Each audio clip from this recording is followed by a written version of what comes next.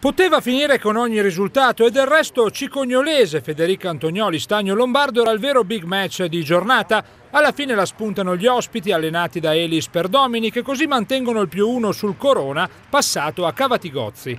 Al centro fadigati la prima occasione è dello Stagno con Somenzi che di testa non riesce a risolvere una mischia in area.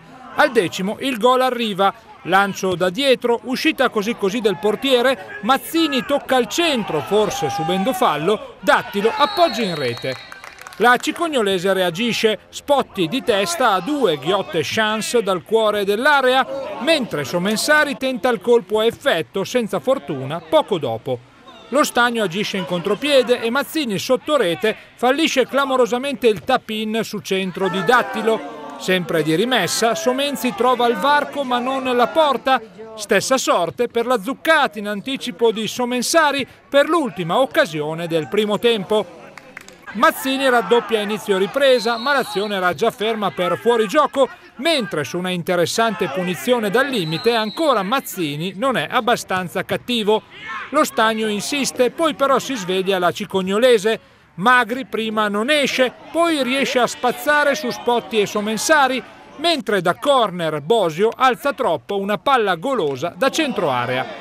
Quando al Mici, con una grande azione da destra, serve Somensari, il più sembra fatto e invece il tocco della punta finisce altissimo. Spotti non trova la deviazione vincente e qualche voce che chiede il rigore si sente, ma le recriminazioni locali sono più che altro per i gol mancati. Cross di Benna e Bosio di testa non trova la necessaria forza, ma poco dopo è clamorosa la mischia nell'area dello stagno senza esito alcuno. I locali protestano ancora per un fuorigioco di Spotti, ma quando gli ospiti ripartono fanno malissimo.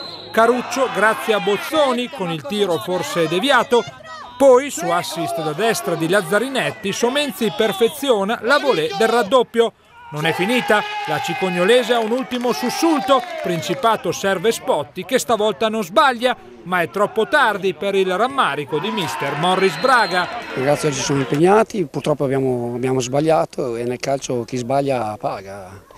È così, eh, oggi siamo stati bene in campo, abbiamo cercato di ribattere ogni loro ripartenza, ma abbiamo sbagliato, quindi sbagliando abbiamo perso. Soddisfatto invece del primo posto mantenuto, Elis Perdomini dello Stagno. Quando giochi contro le squadre che hai dietro di te, eh, danno il massimo per poter batterti, è andata bene, abbiamo fatto fatica, va bene così.